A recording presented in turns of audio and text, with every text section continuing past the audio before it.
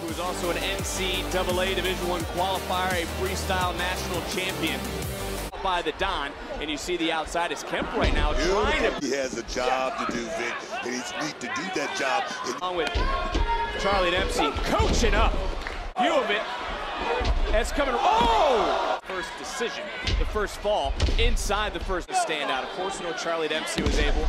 I hear what you're saying, but it has an actual distinct name. And look at that take. Athlete in Tavion Heights, and if he wins, he is in the no quarter. Charlie Dempsey needs the Heritage Cup to be back. In the no quarter, and Myles Borne. Tavion Heights wanting none of it. Flattery, but I don't believe that, man. Oh, I don't believe Man. that. Pick up right here for the no quarter catch crew. Official still distracted, and once again, the oh. numbers game.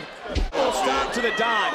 Kemp now, big splash. And David Kemp under the jaw. Kemp turning it around into a neck break. Weakened certainly. A little slingshot suplex into a neck breaker. Back to the ankle. All right, you're praising Drew. No, no, no, I like this kid. He's, and have like extra sparring sessions where they can do neck breakers. Oh! As David catch crew. there it is, what I'm talking about right Double. there. Was the Cruz Del Toro, who gets scooped up and planted by David Control. And there, David Kemp. What the? He got that too. He my got bingo champagne there. with I'm trying to fill the champagne damn with thing scary. out. He got a little bit of that. Oh, oh, yeah. Nice. No quarter catch would have paid their bill. Maybe they would still be champions. Oh, yes, man. Big German suplex. I think he just may be thinking a little bit different right now because Oh, wow. He's taking it right now, too. Looking for that angle slam. By Carlito. Carlito, though, turning around. Ooh. And look at Damon Kemp following up. Bam!